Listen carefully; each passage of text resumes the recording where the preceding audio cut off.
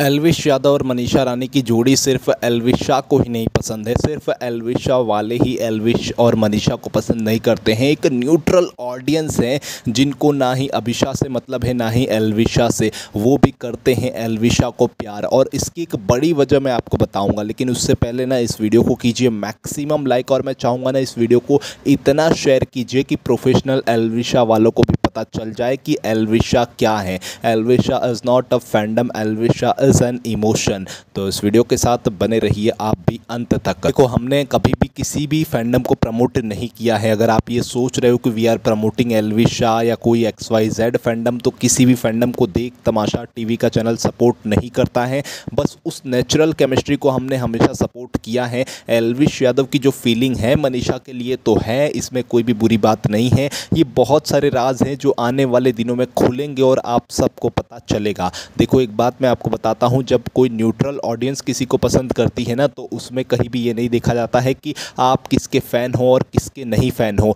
ये फैंडम की जो लड़ाई है, वो सिर्फ़ और सिर्फ़ फैंडम सोलोज़ और बहुत सारे लोग कर रहे हैं, क्योंकि इनका अपना अपना लगाव है अपने अपने आइडियल से प्यार है। कहीं स्क्वाड है, कहीं आर्मी है, लेकिन नाम आता है एलविशा का। देखो, एक बात मैं आपको बता दूँ, एलविशा फैंडम कभी भी टॉक्सिसिटी नहीं फैलाया है। Elvisha is a very positive fandom और ये बात मैंने हमेशा कहते आया हूँ एलविशा जितना पॉजिटिव फैंडम है ना, उतना मुझे शायद लगता है कि कोई और कोई और पॉजिटिव फैंडम हो। एलविशा वाले जिस तरीके से मनीषा और एलविश को कनेक्ट करते हैं, कुछ लोग ब्लेम करते हैं कि एलविशा वाले मनीषा को ज़्यादा सपोर्ट करते हैं और एलविश को ज़्यादा सपोर्ट नहीं करते हैं, ये बिल्कुल गलत है। जितना सपोर्ट एलविशा वालों ने एलविश को किया है ना, उतना ही ज़्यादा फिफ्टी फिफ्टी परसेंट सबको सपोर्ट किया है मनीषा हो या एलविश हो।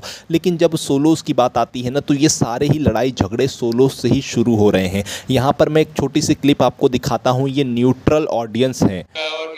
देखा जाए तो एल्विश साहब उनके उसमें वो फ्लर्टी कॉन्सेप्ट आता है दोनों के बीच में अब ईशा में ज़्यादा फ्रेंडली और भाई बहन वाला आता है तो फिर एल्विशा का कॉन्सेप्ट मुझे अच्छा लगता है। तो देखा आपने न्यूट्रल ऑडियंस हमेशा एल्विशा को पसंद करती है। कोई भी भाई बहन के साथ शिपिंग फैंडम क्यों चाहेगा और क्यों बनाना चाहेगा? एल्विशा में वो कॉन्सेप्ट है वो फ्लर्टिंग है वो रोमांटिक जोड़ी है वो कपल वाली फीलिंग है। अब मैं आपको ये नहीं बोल रहा हूँ कि आप अगर ऑडियंस ये बोल रही है तो कोई भी आपका क्रिएटर वही करेगा। करेगा लेकिन हाँ इनकी केमिस्ट्री तो वही है। इनकी केमिस्ट्री एस के और काजोल वाली है तो ये आपको मानना हो इस बात को एक्सेप्ट कर रहे हो ना तो यही सच्चाई है। न्यूट्रल ऑडियंस इसलिए एलविशा को पसंद करती है, क्योंकि इनकी जो केमिस्ट्री है, वो वाइब देती है। इनकी हर एक चीज़ मैच होती है, चाहे देसी वाइब हो, बोलने का तरीका हो, या फिर फ्लर्ट करने का, हर एक चीज़ एलविशा को एलविशा वालों का न्यूट्रल ऑडियंस को पसंद है। अब जो अभिषा में डिफरेंस है ना अभिषा को भी हम बहुत पसंद करते हैं। अभिषा में कोई बुराई नहीं है, लेकिन अभी हमेशा एक दोस्ती वाला, एक भाई बहन वाला फैंडम है।